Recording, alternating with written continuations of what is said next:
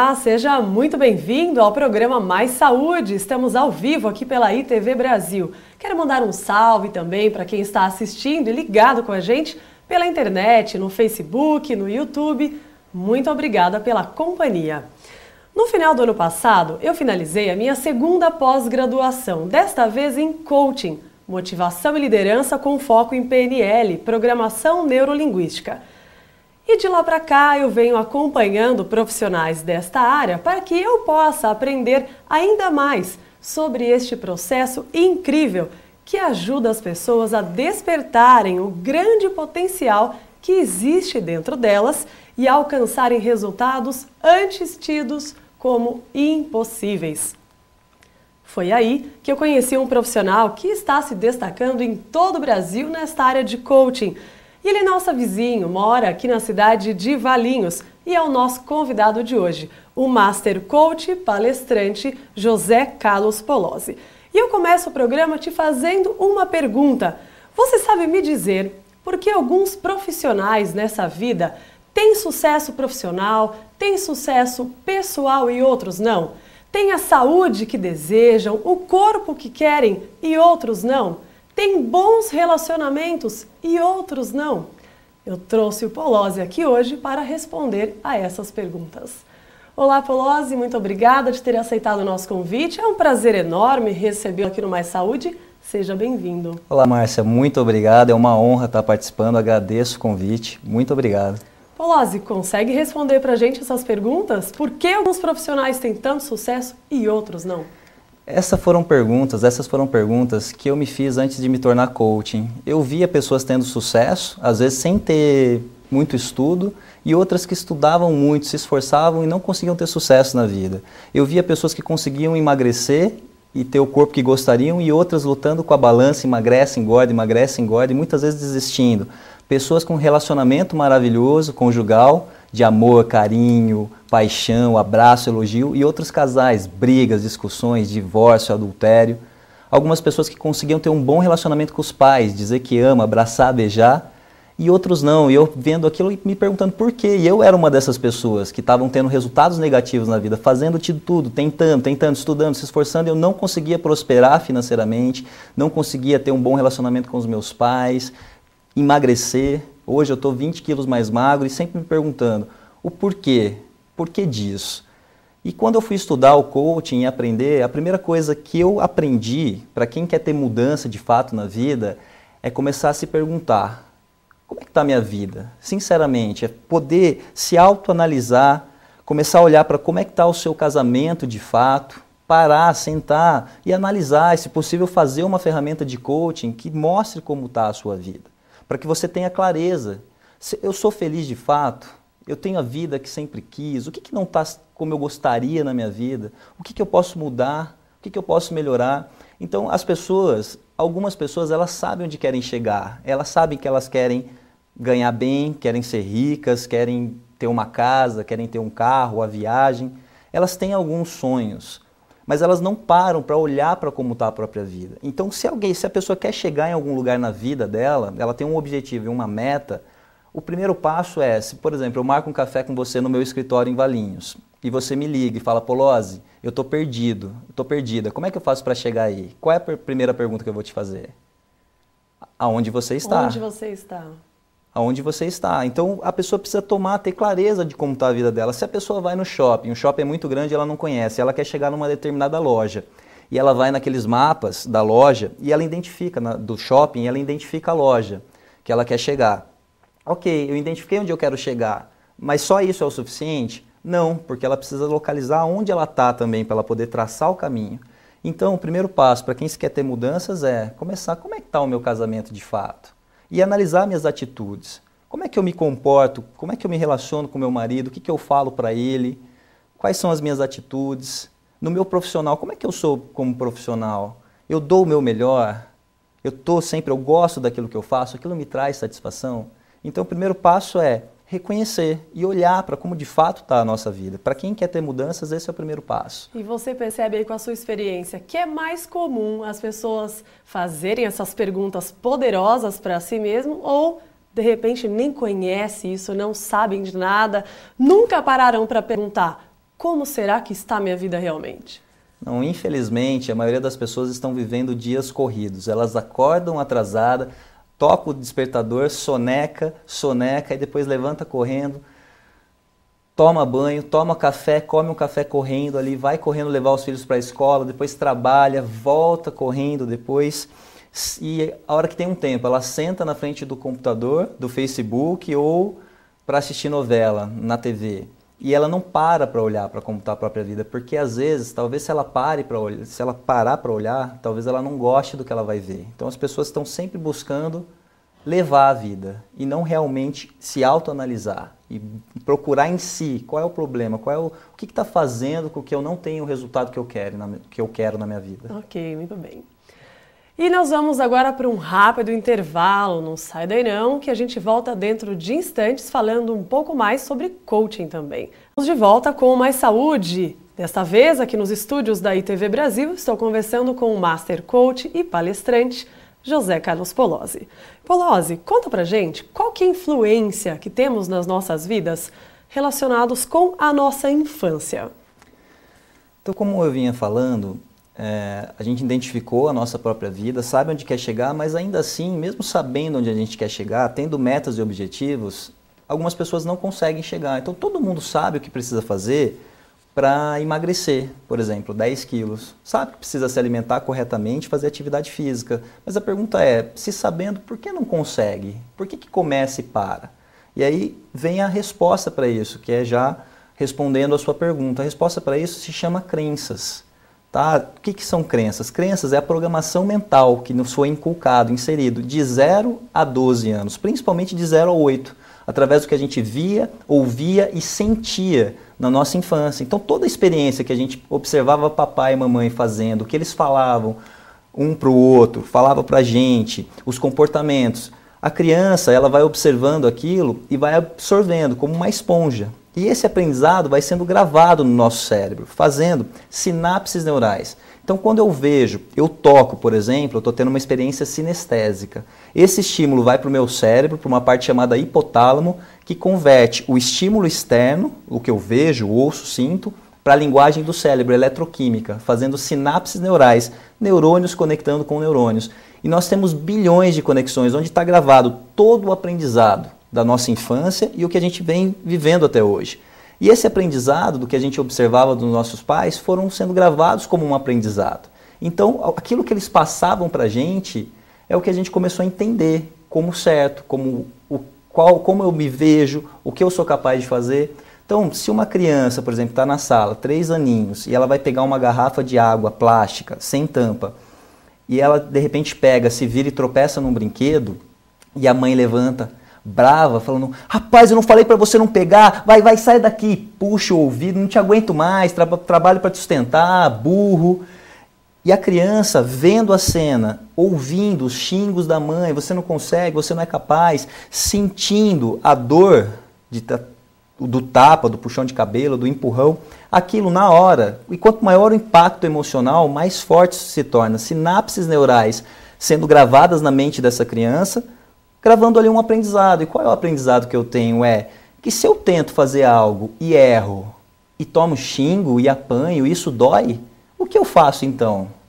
Eu paro de tentar. Eu não tento mais, porque toda vez que eu tento fazer algo e erra, os meus pais mostram para mim quão incapaz eu sou de fazer aquilo. E aí eu não tento, não faço, vou crescendo, e aí eu vou me tornando uma pessoa insegura, com medos, porque eu não tento nada na minha vida. E aí as oportunidades vão passando. A oportunidade, uma oportunidade de empreender, uma oportunidade de me candidatar, candidatar para uma vaga maior na empresa ou para uma nova empresa, e eu não faço. De fazer uma apresentação, e eu não faço, porque inconscientemente eu me sinto incapaz do, por causa desse aprendizado, do que foi passado para mim, do que eu observava, via e sentia dos meus pais na infância. Sim, você consegue trazer para a gente alguma, algum tipo de crença, a gente pode chamar do que uma crença limitante?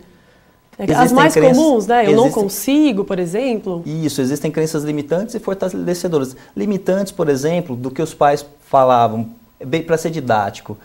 Você começa a quer, quer as coisas e o pai começa a dizer assim, ó, não tenho dinheiro, filho, não tenho dinheiro. Você pensa que é fácil ganhar dinheiro? Dinheiro não nasce em árvore. Ou fala, rico não vai para o céu, rico é arrogante. E a criança começa a aprender isso.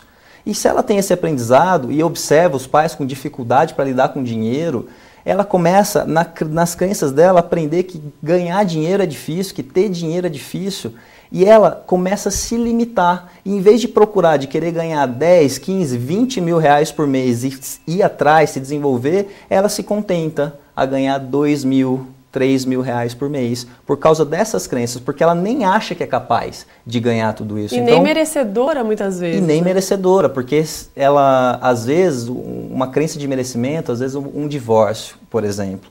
O pai, ele sai de casa, a criança, ela não entende o, emocionalmente, ela não tem, ela não tem maturidade para entender o que, é, o que é o divórcio, ela só sente emocionalmente a ausência do pai.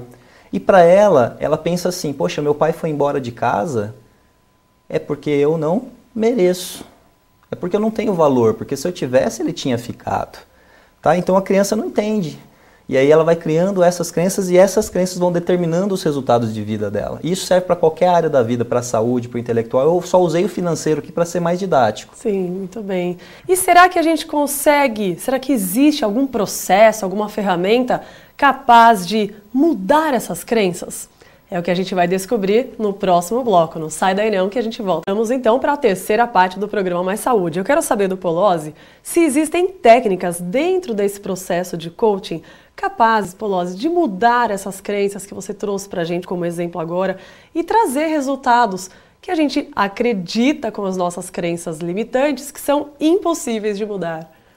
Sim, tem, existem técnicas, eu vou citar uma delas aqui, é, eu preciso agora, primeiro, identificar essas crenças e começar a reparar naquilo que eu falo, o que, que eu tenho falado, o que eu consigo, eu não consigo, eu posso ou não posso. Então, o primeiro é começar a tomar consciência do que eu acho que sou capaz de chegar minha, aonde chegar na minha vida.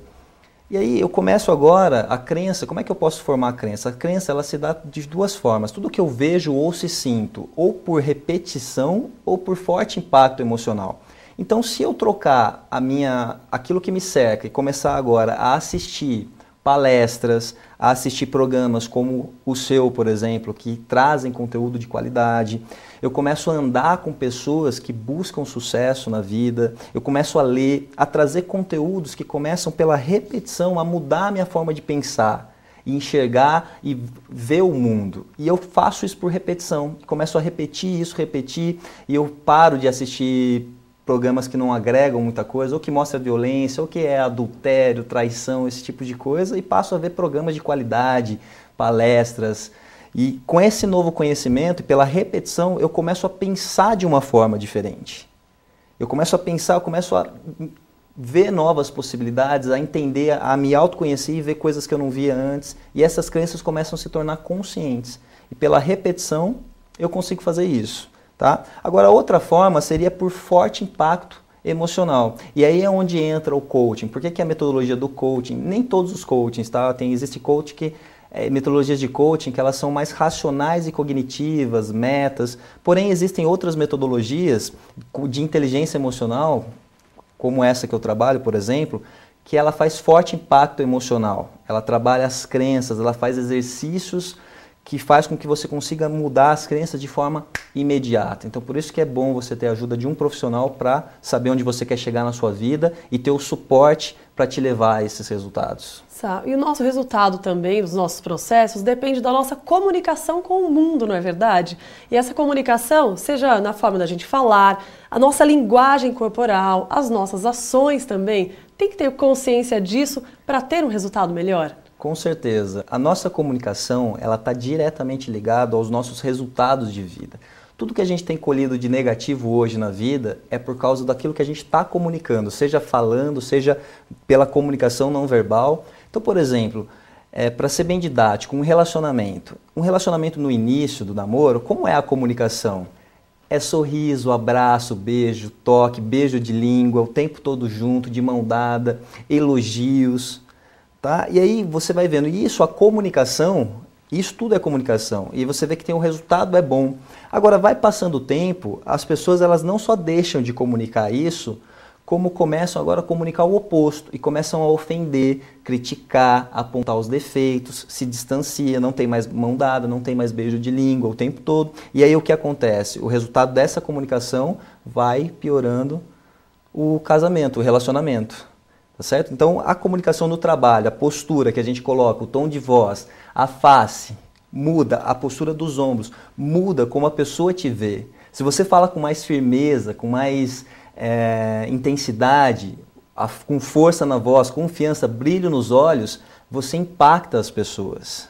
Tem um resultado, a pessoa te vê de uma forma diferente. Então, toda a comunicação está relacionada aos nossos resultados de vida, seja em qual área for. Claro, e a gente fala também, eu adoro quando a gente comenta aqui no Mais Saúde, como que é o mundo, como é que você vê o mundo, por que, que tem gente que acorda e fala, meu Deus, obrigada por mais um dia, e outras pessoas acordam e falam, ai caramba, vou ter que sair dessa cama e levantar. O mundo é igual para todos, mas depende do seu mundo interno a maneira como você reflete isso, não é, Polozzi? Com certeza. Se você acorda pela manhã sendo grato, você em vez de reclamar pelo trabalho, ah, mais um dia, ah, hoje está chovendo, ah, não aguento mais, e você agradece, por exemplo, é uma, um, um, padrão de comunicação, e eu agradeço e falo assim, nossa, que bom que eu tenho um trabalho para fazer, que bom, que noite maravilhosa, que bom que eu tenho uma casa para dormir. Isso muda o foco da sua mente, e a sua mente passa a focar agora em coisas que você é grato. Olha como eu sou afortunado na minha vida. Eu tenho casa, eu tenho filho, eu tenho saúde e eu não tenho motivos para reclamar. E quando eu foco naquilo que eu sou grato na minha vida, muda o meu sentimento. Eu me sinto melhor, eu me sinto feliz. Porque como se sente uma pessoa que olha para a vida dela e vê que ela tem saúde, ela tem filhos, ela tem casa, ela tem um trabalho, ela tem comida? E aí ela passa a se sentir bem com aquilo, e esses sentimentos que ela carrega de forma constante e avolumada é que determina os resultados de vida dela. O que, que ela acredita que é capaz de fazer vai mudando as crenças dela. Ok, muito bem. Okay. E agora a gente vai para mais um intervalo e voltamos daqui a pouquinho para fazer o fechamento do Mais Saúde de hoje. Não sai daí não que a gente volta já. Então, para a última parte aqui do Mais Saúde, Polose, você sabe que eu poderia ficar a tarde toda com você aqui na, no Mais Saúde, na ITV. Sou apaixonada por este assunto. Essa é a última parte do programa, então gostaria de encerrar pedindo aí a você uma dica para quem está nos assistindo, uma motivação para acreditar que toda mudança é possível. O que eu tenho a te dizer é essa voz que fala no seu interior, que diz assim que você pode mais, que você é capaz de realizar mais, que você merece mais da vida. Essa voz que diz, é essa voz buscando a tua missão de vida. Você pode mais, você pode realizar muito mais do que você vem realizando, você pode viver uma vida realmente extraordinária, você pode impactar pessoas, você pode fazer diferença no mundo. Você não está aqui nesse mundo por acaso. Só que algumas pessoas elas têm suprimido essa voz e enterrado os sonhos.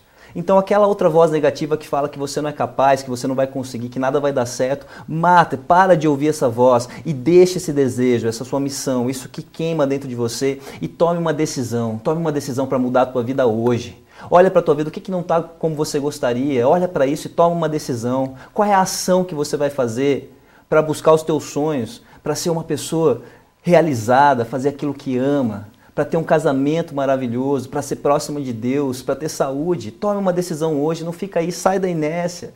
Sai da inércia, começa agora a viver uma vida, sai da zona de conforto.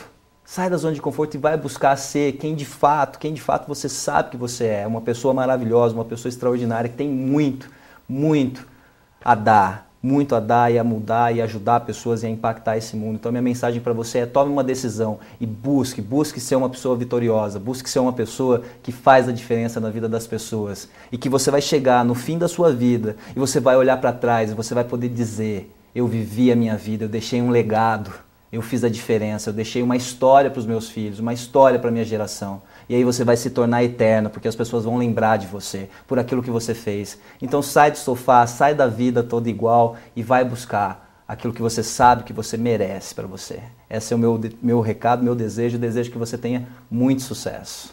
Polozzi, mais uma vez, muito obrigada pela sua participação. Uma honra ter aqui você aqui com a gente. Eu acompanho o seu, seu trabalho, sou sua fã.